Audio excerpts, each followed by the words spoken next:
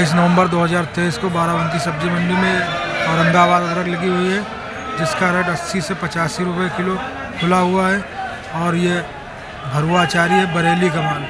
नौ एक दस रुपये किलो बिका हुआ है, हापुड़ बंदा है। ये बंदे का रेट खुला हुआ है यार, चार सौ रुपये से लेकर के चार सौ पचास रुपये आसिम ट्रेडिंग कंपनी बाराबंकी।